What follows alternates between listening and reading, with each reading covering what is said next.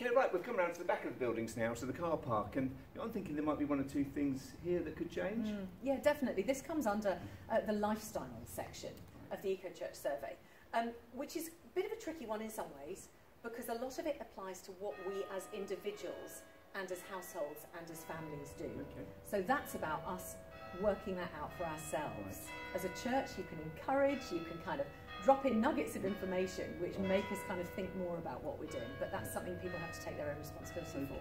As a church, though, you could, for example, put in some bike racks. Right. That, you know, that's the kind of thing that helps change people's habits. You've got a bike, you could cycle to church, you know there's somewhere safe to leave it. But also car sharing. Um, just the kind of encouragement to walk to church rather than come in the car, which lots of us could do and don't because we're running a bit late, but we could Yep. be more organised. Yep. That kind of thing. And also, as a church, you could you could do a kind of communal Christmas card Right. and Easter card to Okay.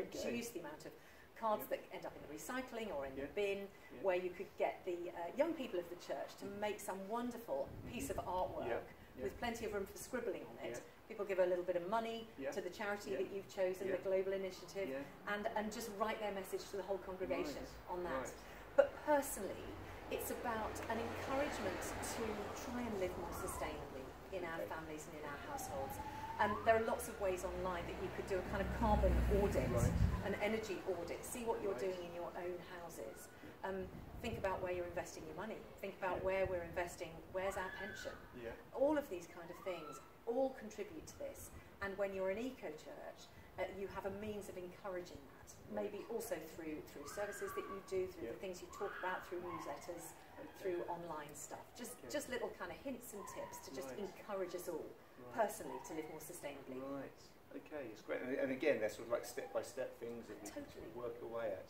Totally, one thing at a time. Yeah. And the other thing about eco church is that one thing leads to another thing, Okay. which leads to another thing. It's a kind of domino effect. Okay. So just start. Just don't do nothing. Right. Start. Okay. and then that will lead to something.